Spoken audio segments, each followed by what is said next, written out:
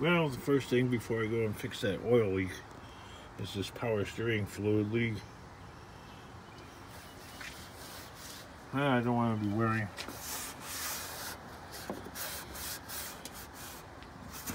half of the grease I ever leaked.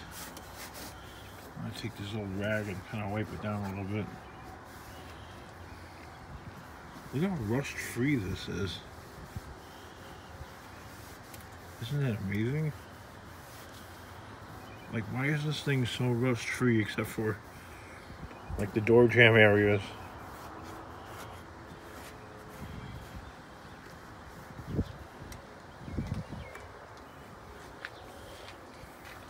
And this inner fender, like, wow. Wow. That oil leak is one heck of a rust preventer.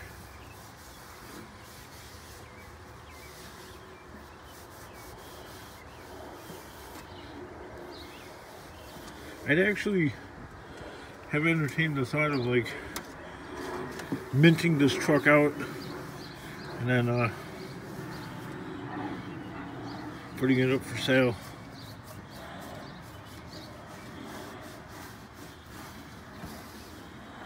Maybe change the color from yellow to something else. What inside here presents a problem. You'd have to like paint it black or something on the inside.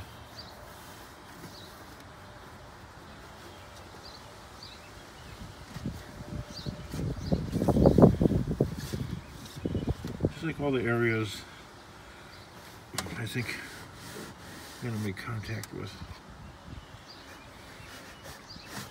Wipe it down.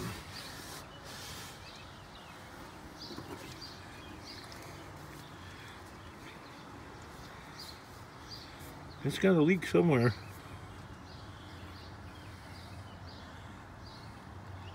There's a little split right there, I don't know.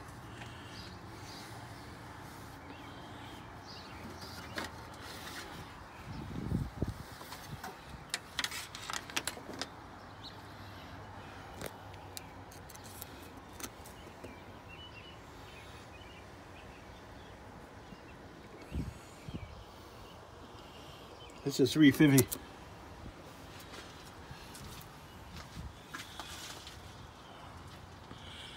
I bought the one hose. I believe I bought that one right there. Uh, those other lines going there past the oil filter, they're oil cooler lines. It's possible that they're leaking too.